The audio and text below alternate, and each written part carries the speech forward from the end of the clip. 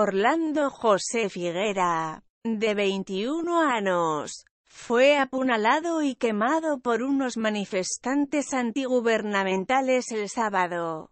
El presidente Nicolás Maduro afirma que la agresión fue por ser chavista y que refleja el odio de sectores de oposición en medio un clima de fuerte tensión en el que ya han muerto al menos 51 personas.